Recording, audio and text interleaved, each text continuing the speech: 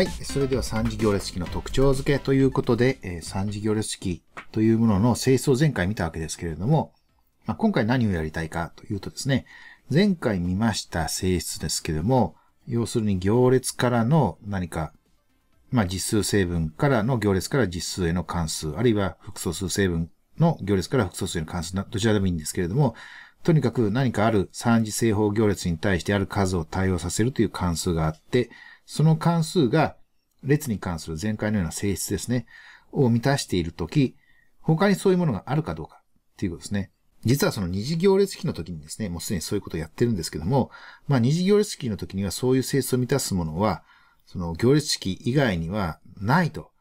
えー、まあもうちょっと細かく言うと、単位行列における値が、まあ1という指定がなければ、まあ行列 AD-PC の定数倍になるというところまでやったんですね。実はこの三次行列式もですね、そのような性質があるということをこれからちょっと見ていきたいと思います。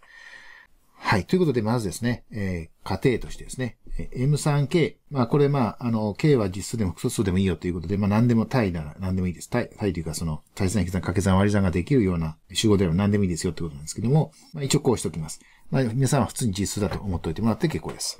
それでですね、えっと、F をですね、この M3K から K への関数であって、1から4の整数を満たすということで、えー、まあ、前回の多重線形性、対化性、交代性。ちょっとあの、交代性、対化性、後で途中で逆になるかもしれませんけども、まあ、とにかくその、えー、対化性とか交代性ですね。そういう性質と、それから、まあもう一つ、単位行列における値が1だという性質がありました。でこの最後の性質、4番の単位行列における値がないと、二次行列式の場合と同じように、えー、その、先ほどえ前回、前々回定義した三次行列式の、ま、定数倍ということになるんですけども、まあ、一応、この1から4の整数を満たしているならば、その F っていうのは実はこのサラスの公式で与えられているあの行列式ですね。しかないということを、まあ、ちょっと確認していきたいと思います。で、まずですね、え、M3K をこのように、え、まあ、3次元数ベクトルの密組と同一するという話は前回と同じです。はい、ですから、この F という関数は、この三次行列、三次数、えー、数ベクトル、三次元数ベクトルの密組の関数というふうに考えることができます。で、まず一列目に関する線形性を使います。一列目に関する線形性を使うと、この A1 というのはですね、一列目は、このように基本ベクトルの一次結合で書けるわけですね。ですから、この FA というのは、このように分解することができます。この式ですね。えっと、F、えここのところが E1、E2、E3 になっていて、他のところはそのまんま変わりません。え注目しているのは1列目だけですね。1列目だけに注目しています。そうすると、まあですね、えこの F の値は全部数ですよね。これは全部数になっているわけですけども、えこの A11× なんちゃら、A21× なんちゃら、A31× なんちゃらと、こういう形になりますね。一応これちょっと、あの、シグマ記号でも書いておきます。ちょっとシグマ記号を使わないと場所が足りませんので、えー、こういうふうに書きます。で、今度ですね、このそれぞれ F が3つ出てきましたね。この F3 つ出てきたそれぞれに関して今度は2列目に注目して展開します。はい。2列目に注目して展開するとどうなるかお分かりですよね。1列目に注目すると1個のこの式がですね、えー、3つに分かれたわけですから、今度2列目に注目するとそれぞれの3つの項がまた3つに分かれるわけですね。3つ出てくるわけですね。ということで、このような状態になります。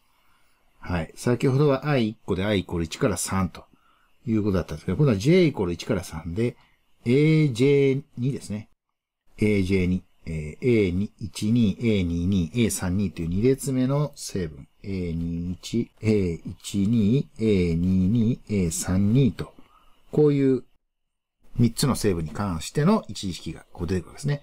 それがそれぞれこの1個目、2個目、3個目、3つの項に対して出てきますから、こういうふうになります。ここでサザンが9ですね。9個ですね。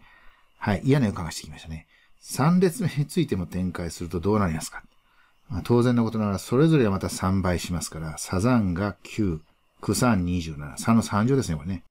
はい。ということで27項出てきます。えらいことになりました。はい。これ2次の時はどうだったかというと、2次の時は2個ずつ展開して 4, 4つで済んだんですね。2の2乗で済んだんですね。で、そのうち、対価性を使って、今からやる対価性を使って2個消えて2個になって AD-BC っていう形になったんですけども、3個の時はですね、まず27個あるわけですね。で、一応ここに書いてみました。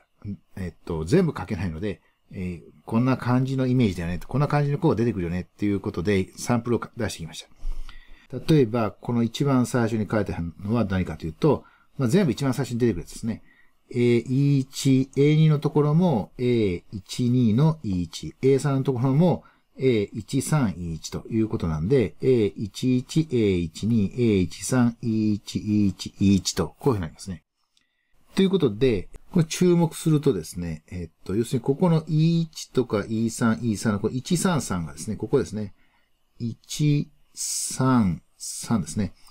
全部1列目、2列目、3列目、ここの ij の j の方は全部一緒ですね。123、123となってるわけですね。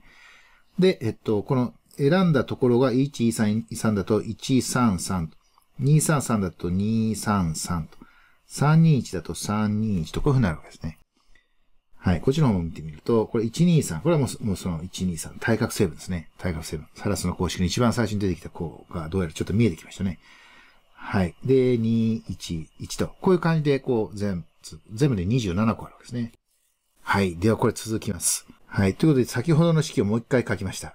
はい。もう一回書きましたけども、対価性によって IJK に重複があると消えるわけですね。例えばこの1111なんかも3つ重複してます。もう2つ重複してるだけで消えるんで、これは当然消えます。ね。3つ重複してたら復活するってことはありませんね、もちろんね。はい。えっと、ですから、まあ、こういうのは全部消えていくわけですね。ということで、えこの消えるということによって、これだけの子が今見えてる中ではこれだけ消えます。じゃあ具体的にいくつ消えるかと。まあ、いくつ消えるかというよりか、いくつ残るのかということですね。いくつ残るのか。それは重複がないわけですね。ですから、123の重複のない順列っていうのは、普通のいわゆる123を並べる、並べた順列ですね。3の解除ですね。解除6通りですね。P の33ってやつですね。はい。ということで、6通りの項が生き残りました。はい。ということで、えー、まあ、線形性と多重線形性ですね。三重線形性でまず27項に展開されるけれども、対価性のおかげで、えー、まあ、重複のある順列に対する項はすべて消えるということで、このような6つの項の式ができました。かなりサラスの公式に近い形になってきたわけですけれども、はい、ここでですね、えー、っと、4番の性質をいきなりちょっと使います。ちょっとね、ね、あの、もうさっさ、さっさとこの F を消したいので、F123 っていうのは FE3 ですね、これね。123が並んでる、順番並んでるのはこれ単位行列ですから、値は1です。ここはもう1なんです。1です。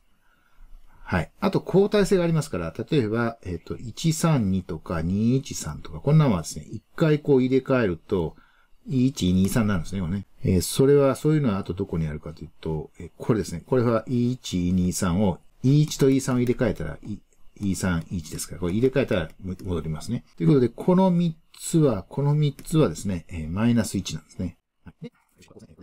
で、もう一回交代を使うと、えー、例えば、えー、っと、ここのこの項なんですけど、231なんですけど、これは、えー、っと、213ってのがありましたね。213、これですね。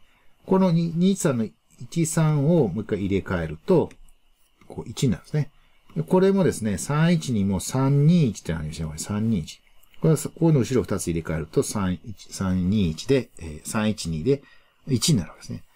ということで、1の人たち、マイナス1の人たち、ということに分かれまして、それをまとめると、サラスの式が得られますということですね。いかがだったでしょうか？はい。ちょっと難しかったかもしれませんので、自分でちょっとやってみてください。えっ、と、授業のプリントでこれをやる演習プリントがありますので、えー、支援システムの方に載せておきますので、そちらの方を、えー、見ていただければと思います。